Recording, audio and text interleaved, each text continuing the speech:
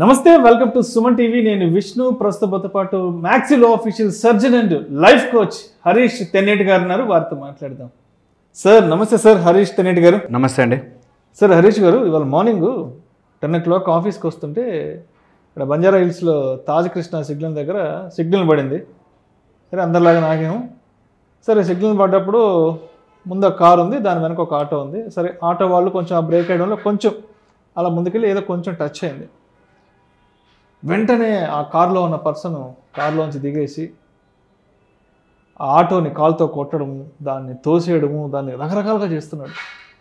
ఎలా ఉందంటే వీడు ఆటోతో నా కార్ని డాష్ ఇచ్చాడు కాబట్టి నేను వీడిని ఇక్కడికిక్కడికే చంపేసేయాలి అన్నంత కోపంగా అన్నంత హేట్రెడ్గా అన్నంత గ్రెడ్జ్తో అతను రోడ్డు మీద న్యూసెన్స్ చేస్తున్నాడు.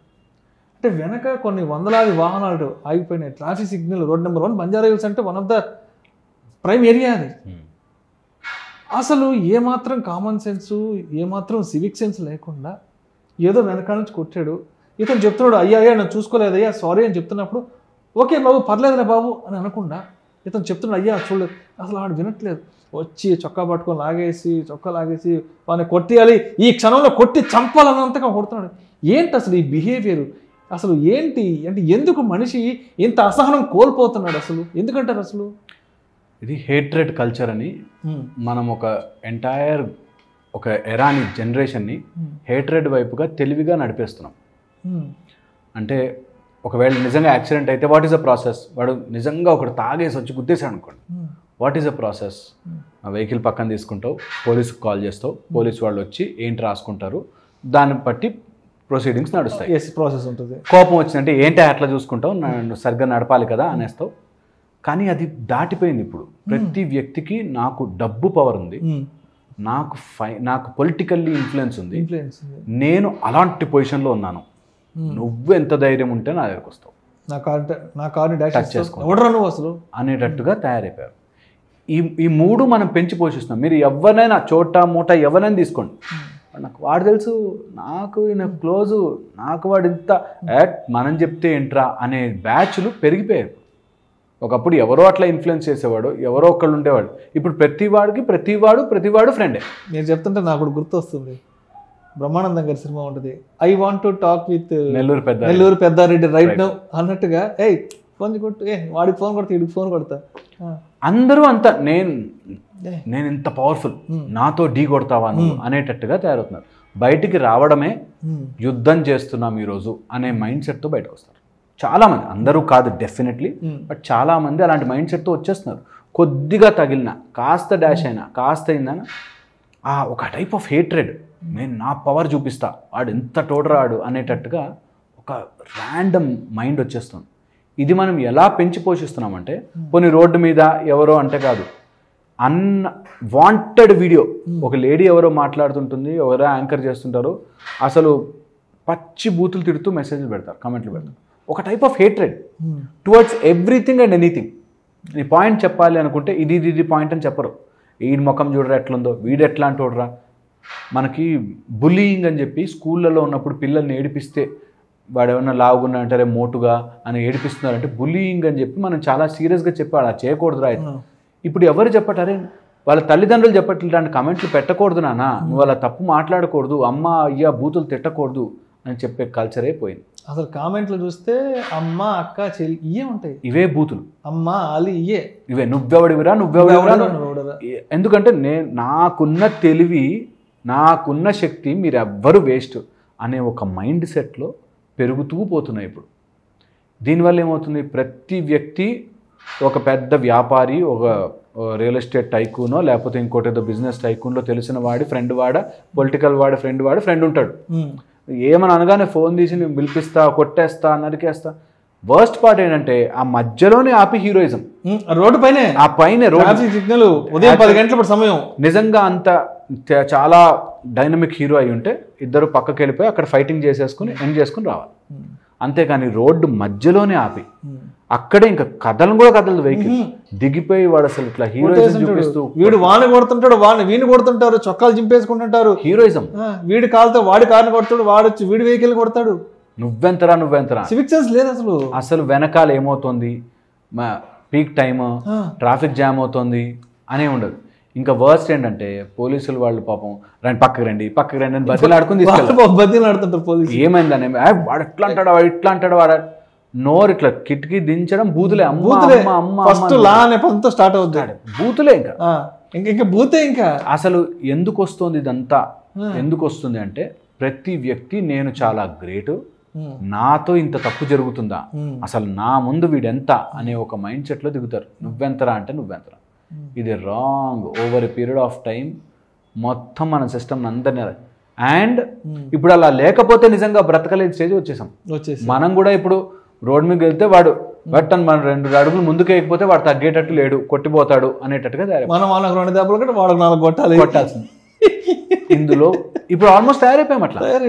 ఇప్పుడు ఆల్మోస్ట్ అలా అయిపోయింది. ఎందుకంటే ఈయన కోర్టుకి తీసుకెళ్ళినా నాకు సొల్యూషన్ రాదు. రాదు. వీడు ఫిక్స్ అయిపోయాడు. ఫిక్స్ అయిపోయాడు. అదేదో రెండు దెబ్బలు నేనే వేస్తే సరిపోద్ది. సరిపోతుంది అన్నట్టు. సో మన సిస్టమ్ని మనం సరిగ్గా చేసుకోనంత సేపు ఇవి వస్తూనే ఉంటాయి. రోడ్డు మధ్యలో ఆపి ఉమ్, మధ్యలో ఆపేసుకుని ఆటో అండ్ పెద్ద కార్ ఒకటి మధ్యలో ఆపుకుని గొడవ పడుతుంటారు. అక్కడ వచ్చేది ఉండదు సొల్యూషన్ అవ్వదు అలా తిట్టుకోగానే ఆటోమేటిక్గా కార్ షైనింగ్ అయిపోదు. అంత కామన్ సెన్స్ ఉంటుంది. అయినా కూడా వాడు ఎట్లా నడుపుతాడు వాడు ఇట్లా నడుపుతాడా అన్నట్టు. అసలు ఇవి- ఇవాళ చూశాను హరీష్.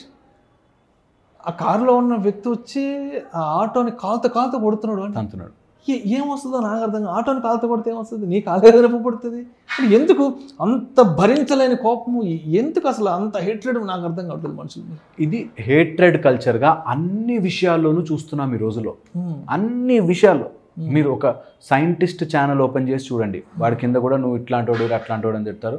ఒక స్పిరిచువల్ ఆధ్యాత్మికవేత్త ఛానల్ కింద చూడండి. వాడిని కూడా ఐదు అవదురా నువ్వు ఇట్లాంటివాడు అట్లాంటోడు అని తిడుతుంటారు. మామూలు డిస్కషన్ ఏదైనా అవుతున్నా కూడా తిడుతుంటారు ఇలాగా ఒక టైప్ ఆఫ్ హేట్ మనం జనరేట్ చేసేసుకుంటున్నాం. ఇది నెవర్ ఎండింగ్ ఎందుకు అవుతుంది అంటే దానికి లీగల్ సిస్టమ్ లేదు కాబట్టి. ఒకవేళ అట్లా రాంగ్ కమెంట్ అమ్మ ఆలి బూతులు తిట్టేవాడు రాంగ్ కమెంట్ వాడికి పనిష్మెంట్ ఉంటుంది పెట్టడు. ఒకవేళ అట్లాంటి కమెంట్ పెట్టాలంటే లక్ష రూపాయలు అని పెట్టండి. ఎవడు లక్ష రూపాయలు కట్టి పెట్టడు. ఊరికే ఖాళీకి కూర్చుని ఏం చేయాలో తెలియక చెట్ల మీద ఎక్కి పంపించే మెసేజ్ ఆ బ్యాచ్ సో ఇది ఒకటి ఏదైనా పాయింట్ నిజంగా డిఫెండింగ్ పాయింట్ చెప్పాలి అనుకుంటే పాయింట్ వైజ్ చెప్పడం మానేసి ముందు వన్ డౌన్ డౌన్ చేసేయి. పుల్ హిమ్ డౌన్ అసలు అమ్మా ఎందుకంటే పెరిగిపోతున్నాడు ఎందుకు? పుల్ హిమ్ డౌన్ మంచి విషయం చెప్తున్నాడు. కాకపోతే ఒప్పుకోకూడదు. ఒప్పుకోకూడదు. మంచి ఒప్పుకోకూడదు. నాలాగా నాలాగా ఎందుకు ఆలోచించట్లేదు వీడు? వాడికి సపోర్టింగ్గా లేకపోతే ఇంకంతే. హ్యాస్ టు గట్ డౌన్ అనమాట ఎంతనా ట్రోలింగ్ చేస్తారు. ఉమ్, ఎంత ఘోరానికైనా వెళ్తారు. ఉమ్, ఎంత ఘోరానికైనా వెళ్తారు. సో అందుకని ఇది హేట్రెడ్ కల్చర్ని మనం over a period of time పెంచుకున్నాం. First అలాంటి కామెడీ వీడియోలాగా మనమే ట్రోలింగ్లన్నీ చూసాం. మనమే ఎంజాయ్ చేసాం. హాహా నవ్వుకున్నాం కాబట్టి ఇప్పుడు అది నెక్స్ట్ జనరేషన్కి ఈజీ అయిపోయింది. అండ్ ఇది నేను ఊరికే చెప్పట్లేదండి. నా దగ్గరికి వచ్చే నేను యాజ్ ఏ లైఫ్ కోచ్గా నా దగ్గరికి ఏమన్నా పిల్లలు వచ్చే అందరు నైంటీ నైన్ పర్సెంట్ ఇలాంటి వాళ్ళే ఉంటారు. నైంటీ నైన్ పర్సెంట్ నన్ను వాడెవడో తిట్టాడు స్కూల్లో నన్ను ఒప్పుకోవట్లేదు వాళ్ళు ఇలా బుల్లింగ్ చేశారు నా బుక్స్ మీద అంతా రాసేశారు. ఇదే బ్యాచ్ పాపం. ఎంతమంది సఫర్ అవుతున్నారో ఇలాంటి జస్ట్ హేట్రెడ్ క్రియేటర్స్ వల్ల. వాళ్ళని ఏమీ చేయలేని సిచ్యువేషన్లో ఉన్నాం ఇప్పుడు మనం. ఒకవేళ గనక అలాంటి పిల్లవాడు ఎవడైనా తిడుతున్నాడు గొడవ పెడుతున్నాడు బూతులు మాట్లాడుతున్నాడు అని చెప్తే వాళ్ళ పేరెంట్స్ వీళ్ళ పేరెంట్స్ స్కూల్లో కొట్లాడుకుంటున్నారు. అది మళ్ళీ మీడియా దాకా వచ్చేస్తుంది. ఆడ మళ్ళీ కెమెరాలు. వాడు ఎలా చేస్తాడు ఎలా చేస్తాడు అని చెప్పి. సో ఇదేంటంటే యాజ్ ఎ వ్యవస్థగా మనం ఓవరాల్గా ఒక కల్చర్ని హేట్ని ఉమ్, నేను పవర్ఫుల్ అంటే నేను పవర్ఫుల్ అనేటట్టు నా లాజిక్ చాలా గొప్పది మీ లాజిక్ చెత్తది అన్నట్టు తయారు చేసుకుంటూ పోతుంది రైట్ రైట్ ఈ హేట్ కల్చర్ వల్ల ప్రాబ్లం ఎక్కడ వస్తుందంటే అందరూ మైండ్ రిలేటెడ్ ప్రాబ్లమ్స్. ఇప్పుడు చూడండి మీరు డిప్రెషన్. ఉమ్, ఇలాంటి diseases ADHDs sadness mood disorders mood swings ఇవన్నీ కూడా ఇలాంటి ట్రామా నుంచి వస్తున్నవే. వాడేమని అనుకుంటాడేమో నేను గొప్ప కాదేమో నేను ఇంత వీక్ ఏమో అనే మైండ్ సెట్ వల్ల నేను ఏం చేయలేకపోతున్నాను నేను ఇలా చేయ మా అమ్మ ఇట్లా చేస్తుంది మా నాన్న ఇట్లా చేస్తున్నాడు అనే ఒక మైండ్ సెట్లోకి వెళ్ళిపోయి ఆ కక్కూన్లో ఉండిపోయి అన్ని రకాల సైకలాజికల్ ప్రాబ్లమ్స్ ఏది జస్ట్ హేట్ కల్చర్ వల్ల? జస్ట్ హేట్ కల్చర్ వల్ల. మనం తయారు చేస్తున్న హేట్ కల్చర్ దాన్ని పాజిటివ్గా ఇప్పుడు ఇదంతా విషయం తెలిసిన వాడు చాలా తెలివిగా ఒక డైరెక్టర్ కూర్చుని ఇజమ్స్ మాట్లాడినట్టుగా చాలా తెలివిగా నా నా ముందే ఎంత్రా అని బలి బ్యాచ్ ఒకటి అయ్యో అని కక్కున్లోకి వెళ్ళిపోయే బ్యాచ్ ఒకటి. కొంతమందికి ఈ రూల్స్ అన్ని వాళ్ళ కోసమే తయారు చేసినట్టు ఫ్రీడమ్ ఆఫ్ స్పీచ్ అనుందనుకోండి Hmm. ఆ ఫ్రీడమ్ ఆఫ్ స్పీచ్తో ఏదైనా చేయొచ్చు వాడు భావ వ్యక్తీకరణ వాడు తెలివిగా ఏదైనా మాట్లాడతాడు Hmm. వాడు ఆ ఫ్రీడమ్ ఆఫ్ స్పీచ్ని ఆ రకంగా వంకర యాంగిల్లో వాడుకుంటాడు. ఇప్పుడు ఆ ఫ్రీడమ్ ఆఫ్ స్పీచ్ అర్థం కాని వాడు ఏమి చెప్పుకోలేక అమ్మో ఏదైనా అంటే ఎవరైనా అంటారేమో అని చెప్పి బిక్కు బిక్కుమంటూ బతుకుతాడు. సో ఈ కల్చర్లో మనం చాలా గ్యాప్ పాజిటివ్గా ఆ గ్యాప్ని ఫిల్ చేయకపోతే తర్వాత చాలా ఇబ్బంది పడతాం. అండ్ అది అన్ఎండింగ్గా. డిసీజ్ని మనం ప్రేరేపించుకున్న వాళ్ళు అవుతాం ఎందుకంటే మనం ఒక ముప్పై నలభై ఏళ్ళు అమెరికా అలాంటి ఫారిన్ కంట్రీస్ నుంచి వెనకబడి ఉన్నాం కదా అలాంటి అక్కడి నుంచి బర్గర్లు పిజ్జాలు తెచ్చుకున్నట్టే అక్కడి నుంచి ఉన్న రోగాలన్నీ కూడా తెచ్చుకుంటాం. అక్కడి నుంచి వచ్చే రోగాలన్నీ ఇవి అట్లా. అటెన్షన్ డెఫిసిట్ అని బుల్లింగ్ అని లేకపోతే ఈ హేట్ కల్చర్స్ నేను అనుకున్నదే కరెక్ట్ అని నెక్స్ట్ మన దగ్గరకు వచ్చేవి gender confusion Hmm. Gender confusion మీరు అసలు మనం చూ మనం అయితే చూడలేం. అదేంటది? జెండర్ కన్ఫ్యూజన్ ఏంటది? నేను అబ్బాయినే కానీ నాలో అమ్మాయి ఉండుండొచ్చు. నేను అమ్మాయినే కానీ నాలో అబ్బాయి ఉండుండొచ్చు. నేను ఇలాంటి వాడిని నేను ఇంకొక జెండర్కి సంబంధించిన వాడిని ఆ టైప్లో వాళ్ళని నన్ను నువ్వు హీ షీ అని పిలవకూడదు దే దెమ్ అని పిలవాలి ఈ టైప్లో వస్తూనే ఉంటాయి ఇంకా. అండ్ వాటికి లీగల్ సపోర్ట్ ఉంటుంది. ఇప్పుడు మనం మాట్లాడుతున్నాం కదా వాటికి లీగల్ బ్లాక్ ఉంటుంది. నువ్వు ఇలాంటి వాడిని ఇలా ఇలా చెప్పలేవు. ఈ విషయంలో ఇలా పిలవలేవు అన్నట్టుగా నెక్స్ట్ వస్తాయి మన దగ్గర వస్తున్నాయి. నా దగ్గరికి నా దగ్గరికి పేషెన్స్గా లైఫ్ కోచ్గా నేను నా టేబుల్ ముందు కూర్చుంటే అందరిదే. మా అమ్మాయి అండి లోపలికి వెళ్తుంది డోర్ వేసేసుకుంటుంది. డోర్ తెరవదు డోర్ బాది బాది బాది మేము చస్తాం బయట. Night eleven o'clock door కొట్టినా. నేను అన్నం తిననే నువ్వు బయటికి రావే అని అమ్మా నాన్న అక్కడ ఏడ్చిన బయటకు రా ఏందో ప్రైవేట్ స్పేస్ అంట. ఏం చేస్తారా ప్రైవేట్ స్పేస్ నాకు అర్థం కాదు. What is the private space వాళ్ళ లోపల లోపల రగిలిపోయి ఒక హేట్రెడ్ తయారైపోతుంది. అండ్ అది నెవర్ ఎండింగ్ రైట్ రైట్ ఎవరు తప్పు ఎవరు కరెక్ట్ చెప్పలేము. Right right so I think ఇంకా అంటే ఈ సబ్జెక్ట్ గురించి మనం. నిమిషాల్లో తేల్చుకునేది కాదు. Right thank you so much Harish Reddy garu thank you ఈ హేట్రెడ్ కల్చర్కి సంబంధించిన కంప్లీట్ అనాలిసిస్ తెలియజేసి థ్యాంక్ యూ సార్